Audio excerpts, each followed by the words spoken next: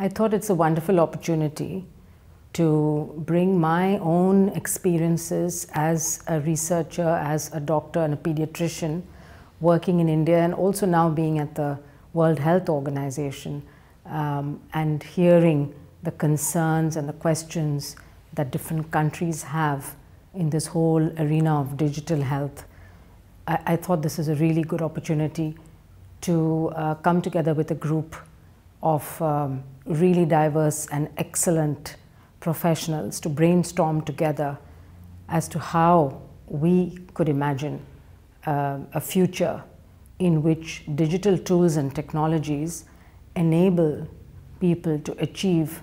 the highest possible state of health. I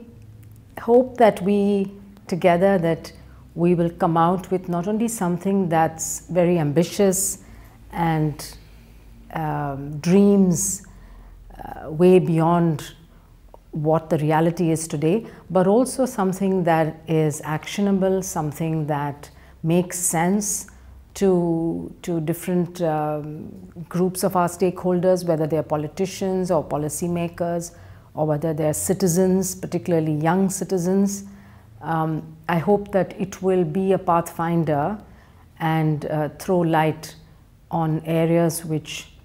either need more focus, because there are many areas today, I think, where there isn't consensus on how we should move forward, and data governance is a good example of that.